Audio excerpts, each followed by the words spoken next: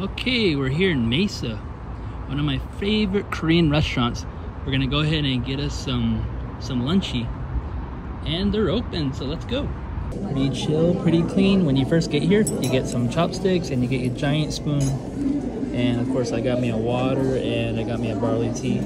Also, if you don't know what to order, they have everything on the board with pictures on there, so it's pretty cool. So yep, just waiting for my food now.